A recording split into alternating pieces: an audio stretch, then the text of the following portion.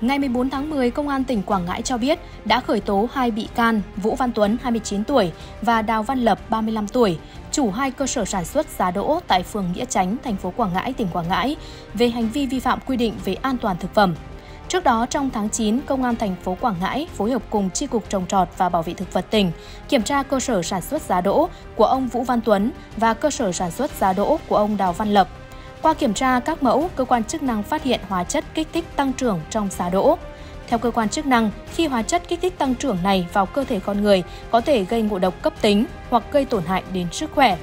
Đáng nói vào tháng 1 trước đó, Công an tỉnh Quảng Ngãi kiểm tra cơ sở sản xuất giá đỗ của ông Vũ Văn Tuấn và cơ sở sản xuất giá đỗ của ông Đào Văn Lập. Thu mẫu giá đỗ, hóa chất để kiểm nghiệm cũng phát hiện có chứa chất kích thích tăng trưởng. Lực lượng chức năng đã lập biên bản xử phạt vi phạm hành chính mỗi cơ sở 45 triệu đồng, đồng thời đình chỉ hoạt động hai cơ sở này trong thời gian 2 tháng. Tuy nhiên, khi hoạt động trở lại, hai cơ sở này tiếp tục tái phạm.